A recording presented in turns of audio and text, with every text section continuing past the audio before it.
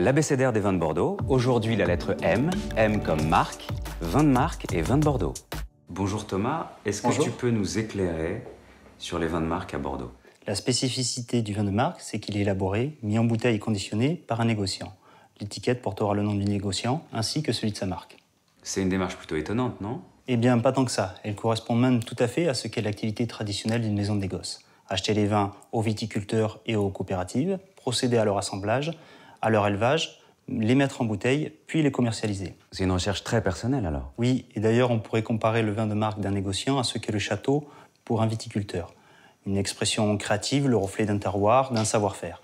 Le vin portera le nom du négociant, il en sera une vitrine. Pour l'élaborer, le négociant va d'abord sélectionner, sur des critères de qualité, des récoltes de viticulteurs d'une même appellation, et au gré de ses souhaits, opter pour un cépage dominant, un vin plus ou moins fruité, souple ou tannique, et toujours bien entendu dans le respect du cahier des charges de l'AOC. Et en quoi ça peut être intéressant pour le consommateur? Alors l'intérêt des vins de marque, c'est qu'avec cette sélection préalable, on arrive à assembler et produire des vins qui seront d'une expression égale d'une année sur l'autre. Quand on s'habitue à un goût, à des arômes, on a souvent plaisir à les retrouver.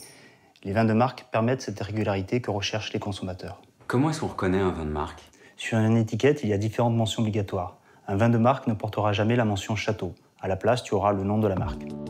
Négociant, marque, confiance, qualité.